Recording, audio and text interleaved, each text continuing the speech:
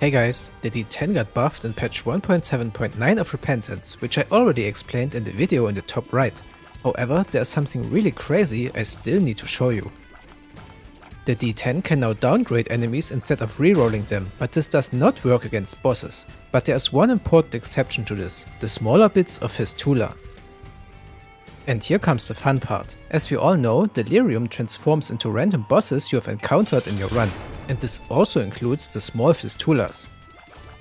You can basically wait until Delirium transforms into one of them and then use the new D10 to reroll him, which basically one-shots the boss on the spot.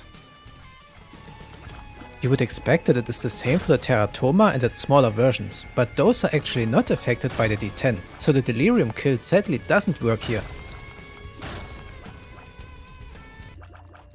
The same is true for the Blastocyst boss. Delirium can transform into it as well as the smaller pieces, but the new D10 is not able to reroll any of them. My last hope was the Gurglings. However, it turns out they actually have two different entities, the boss and the regular version. The D10 is only able to downgrade the latter. Delirium himself will only ever transform into the actual boss version of the Gurglings, which means that the one-shot trick doesn't work here either.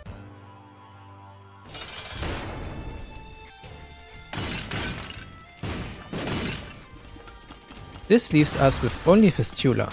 Don't get me wrong, we all know that this is not intended, but bugs like this are still really cool and worth keeping in mind.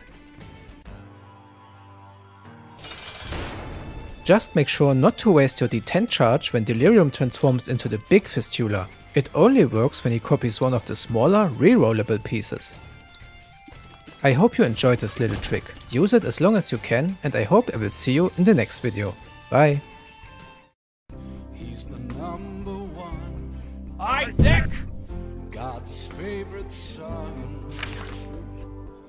His flowing rose reached down from